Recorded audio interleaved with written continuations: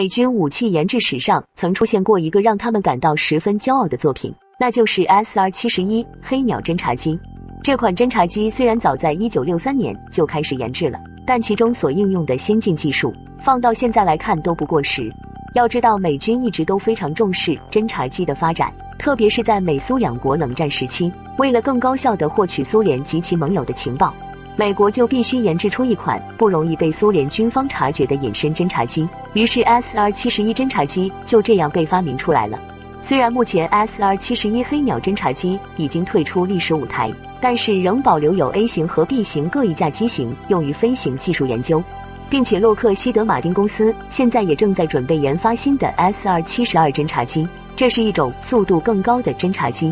有公开数据显示，SR 七十二侦察机的飞行速度将达到六马赫，接近于 SR 七十一侦察机的两倍水平。身为高超音速无人战略侦察机，SR 七十二的核心无疑是其发动机。所以，早在二零零六年开始，洛马公司就已经开始和洛克达航空发动机公司展开 SR 七十二发动机方面的合作。洛克达航空发动机公司曾经于二零零八年提出过 HTV 猎鹰三 X 项目计划。但是由于其为一款技术极其复杂的超音速冲压发动机，加之国防预算有限，刚提出即遭到取消。即使 HTV 三 X 无疾而终，但是却成为了 SR 七十二所设想的理想高超音速推进系统的参考技术。SR 七十二可以使得侦察及打击于一体，一旦装备，世界上就没有秘密了。据美国媒体报道，新开发的美国间谍飞机 SR 七十二将成为世界顶级隐形间谍飞机。根据美国公共信息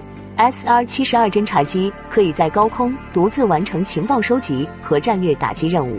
基于 SR 七十一侦察机为参考，升级后的 SR 七十二侦察机与以前的 SR 七十一侦察机有很大不同，主要体现在以下几点：首先，SR 七十一侦察机是载人飞机，而 SR 七十二侦察机可以做到无人侦察，因为飞行速度非常快。所以，驾驶 SR 七十二侦察机的飞行员必须要穿上专门的宇航服才可以抗压，